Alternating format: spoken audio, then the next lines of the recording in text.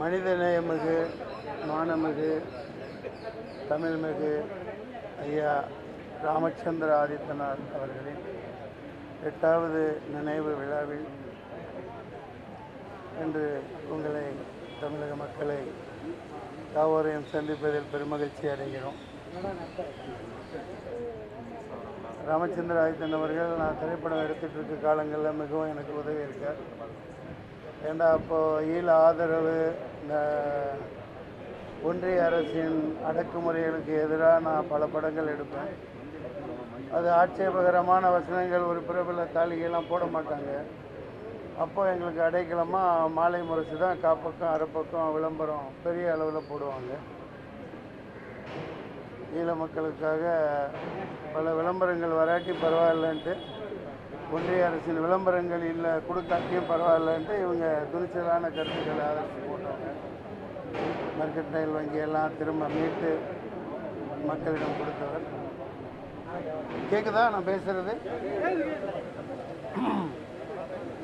இந்த நன்னாளில் ஐயாவின் சார்பாக அவரோட தமிழார்வ தொண்டின் நினைவாக தமிழக முதல்வர் மாண்புமிகு மு க ஸ்டாலின் அவர்களுக்கு வேண்டுகோளாக தமிழ்நாட்டின் வேலைகள் அனைத்தும் தமிழருக்கு அளிக்கப்பட வேண்டும் என்ற கோரிக்கையை தமிழ் தேசிய புள்ளிகள் சார்பாக நான் வைக்கிறேன். கடந்த ஆறேழு வருடங்களாக ஒ- ஒன்றிய அரசின் அழுத்தங்களால் எலக்ட்ரிசிட்டி இபி மற்றும் பல துறைகளில் முழுக்க முழுக்க ரயில்வே என்ற பல துறைகளில் வேற்று மாநிலத்தவருக்கு வேலை வழங்கப்பட்டு விட்டன. அதையெல்லாம் மீட்டு தமிழர்களுக்கு அளிக்கப்பட வேண்டும் என்ற கோரிக்கையை இங்கே வைக்கிறேன்.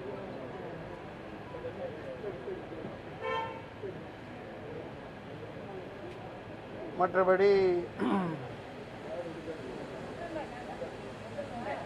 மக்கள்கிட்ட காசே இல்லாத இந்த கொரோனாங்கிற இட்டுக்கட்டின ஒரு சூழ்நிலையில் இப்போ எல்லாவற்றையும் திறந்து விட்டது மற்ற மகிழ்ச்சி அளிக்கிறது. திரையரங்குகளுக்கெல்லாம் மேலும் இருக்கிற கட்டுப்பாடெல்லாம் எடுக்கணும். மக்கள் கையில் காசு இருந்தால் தான் திரையரங்குக்கு வருவாங்க.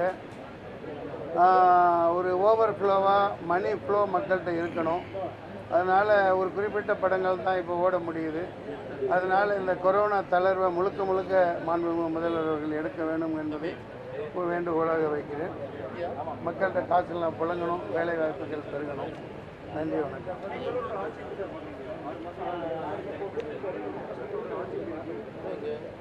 எல்லாரும் பாராட்டிக்கிட்டு இருக்காங்க இல்லையா? அப்புறம் நம்ம எப்படி குறை சொல்ல முடியும்?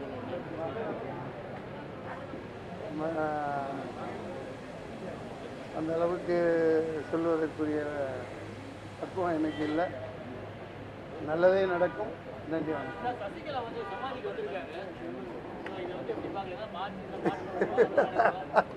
ஐயா?